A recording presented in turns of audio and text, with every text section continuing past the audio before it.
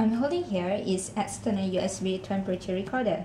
It called external USB because it have dongle are of the type which is able to the customer to simply plug the data logger into the PC and the software of the data temperature recorder. TrekView is designed to be low cost and help optimize the cold chain by altering manufacturer, handler, and shipper when a product has been exposed to temperature condition beyond a specified threshold. All TrekView units are water resistant recorders.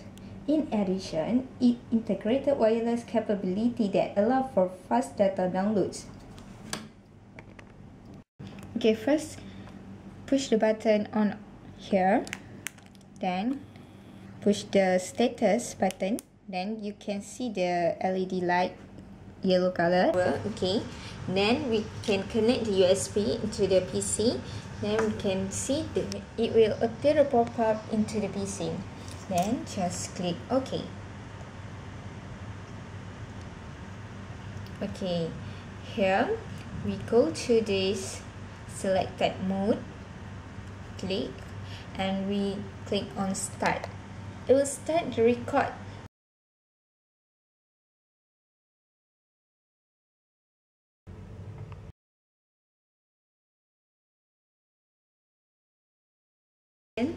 at the software we need to click the stop button.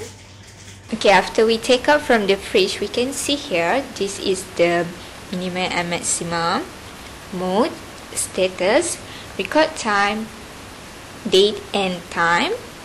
Okay besides that we can see the curve here. This is the graph. Histogram pie chart,